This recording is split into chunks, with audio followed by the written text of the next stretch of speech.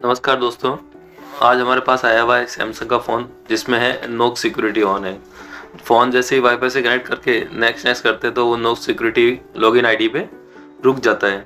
Phone को format करने के बाद ये प्रॉब्लम ज़्यादातर फ़ोन्स में, कौन से फ़ोन्स में आती है? जो गवर्नमेंट्स के दिए हुए फ़ोन है, या प्राइवेट सेक्टर की कंपनी अपने लेबर को जब फ़ोन देती है तो उसमें नोक सिक्योरिटी जो है वो ऑन करके देती है सारे लेबर्स को, ताकि वो फ़ोन को कहीं और यूज़ ना करे, या फॉर्मेट करे तो पहले कंपनी का लॉगिन आईडी उसमें सिक्योर रहे।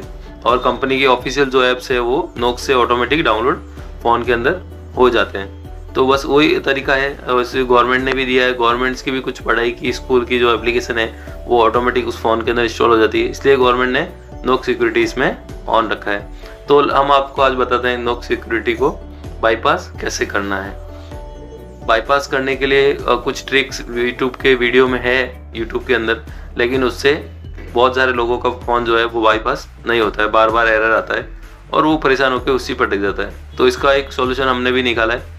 लेट्स मैं आपको बताता हूँ कि ये बाईपास करने का और दूसरा ट्रिक कौन सा है। तो सबसे पहले हम एक और उसका खुद का जो जैसे नोक्स पे क्लिक करेंगे वाईफाई कनेक्ट करके तो ऑटोमेटिक लॉगिन ले लेगा। तो वीडियो आपको पसंद आए और आपका सॉल्यूशन हो गया है तो आप चैनल को सब्सक्राइब करना ना भूलें। ओके करेंगे। आ, ओके करने के बाद यहाँ पे आपको पासवर्ड में डालना है। T E S T at the rate one two three login ID आपको वही रखनी है जो उसके अंदर ऑटोमेटिक लॉगिन हुई है।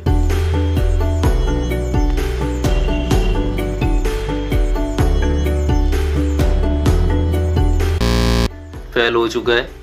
ये मैसेज काफ़ी लोग के लोगों के यही मैसेज आते हैं कि भाई मैं जिस टाइम ये करता हूँ तो बार बार यही एरर आता है। अब यहाँ पे हम क्या करेंगे, इसमें कुछ एडिटिंग करेंगे लॉगिन आईडी के अंदर।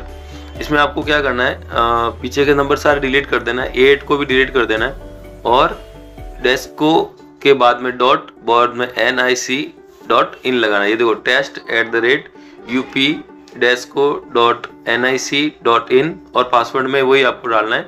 T E S T test at the rate one two three हमने ये एंटर किया है। लॉगिन आईडी और पासवर्ड दोनों एंटर करने के बाद देखते हैं फ़ोन स्टार्ट होता है नहीं होता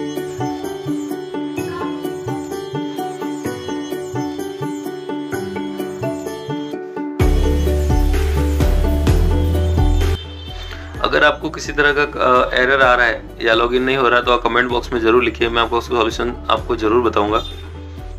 फिर आपको नेक्स्ट करना है। फिनिश पे क्लिक करना है। थोड़ा सा वीडियो भगा देता हूँ मैं।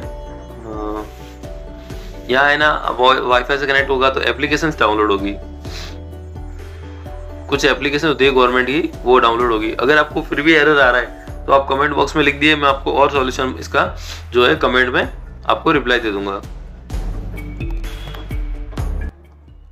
ये देखिए बाईपास हो चुका है फ़ोन गवर्नमेंट का खुद का वॉलपेपर जो था वो भी आ गया।